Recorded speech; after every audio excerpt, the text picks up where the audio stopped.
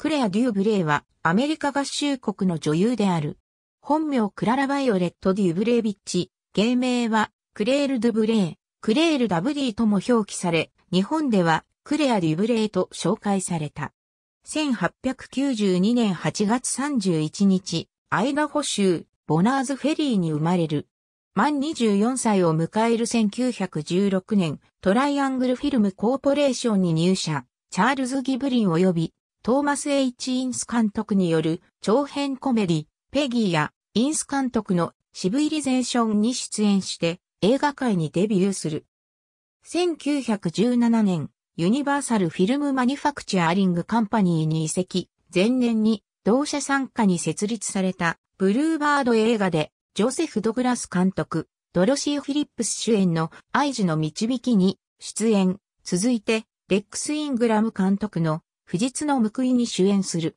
同年、ハリー・ケリー主演のハリー・ホマレ等の短編西部劇に相手役として数本共演し、再びブルーバード映画でアイダ・メイパーク監督の心のサビ、ジョセフ・ドグラス監督のトライアンフ、恐ろしき里、故郷の空、ルパート・ジュリアン監督の左の手に助演、これらは日本でも公開された。1918年にはユニバーサルを離れ、スタープロダクションやショープロダクションの助演俳優になる。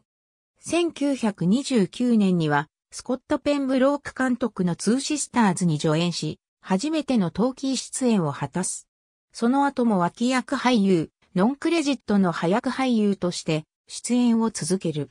第二次世界大戦後、1950年のアニメーション映画、シンデレラ姫で、フェアリーゴッドマザーのライブアクションモデルを務め、同郷においてテレビ映画にも出演し、1958年、ビクター・マチュア監督のエスコート・ウエストが最後にクレジットされた出演作、1959年に早役で顔を出したアービング・ラパー監督の奇跡が最後の出演作となった。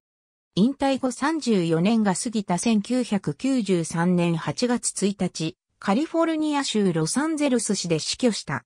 満100細胞図。広告特筆以外はすべて出演作である。